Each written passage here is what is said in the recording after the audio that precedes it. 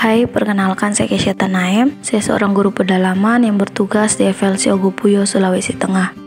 Saat ini adalah tahun kedua saya menjadi seorang guru pedalaman di FLC Ogopuyo.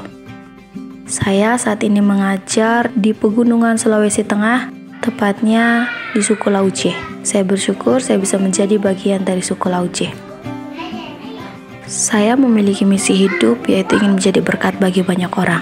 Dan saya bersyukur kepada Tuhan melalui Yayasan Tangan Pengharapan, misi hidup saya bisa saya capai dan bisa menjadi kenyataan. Melalui Yayasan Tangan Pengharapan, saya bisa membantu anak-anak melalui segi pendidikan.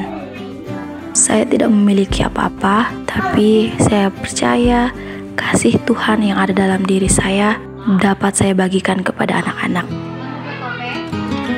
Saya bersyukur kurang lebih satu tahun ini banyak perubahan yang dialami anak-anak.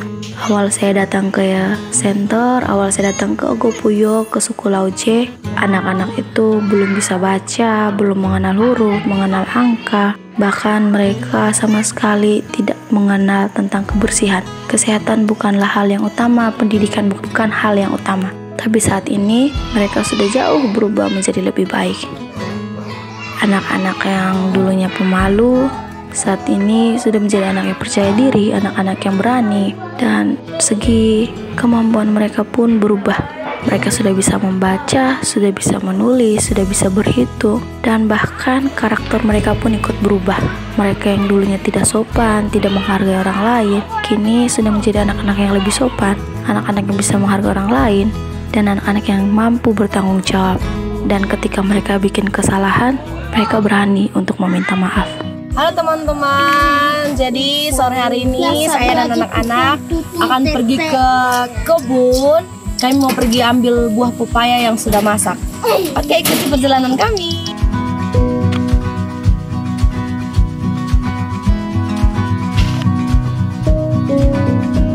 Oke teman-teman, jadi ini pepayanya tadi kita sudah petik, ternyata cuma sisa dua buah yang lainnya itu dimakan sama kelelawar teman-teman. Oke kita sekarang kupas.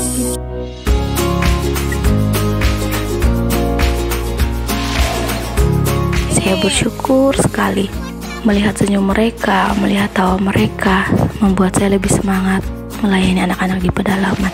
Walaupun di pedalaman tidak selamanya enak saya rasakan tapi saya percaya apa yang saya bagikan, apa yang saya tabur tidak akan sia-sia.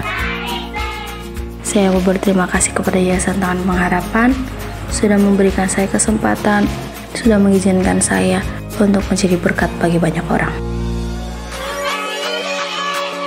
Kehadiran guru-guru Tangan Pengharapan telah membangkitkan semangat mereka untuk mengejar setiap cita-citanya.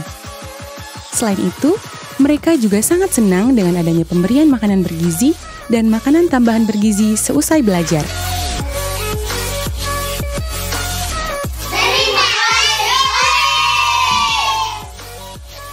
Terima kasih kepada para donatur yang telah setia mendukung program sponsorship guru pedalaman di Ogopuyo, Sulawesi Tengah.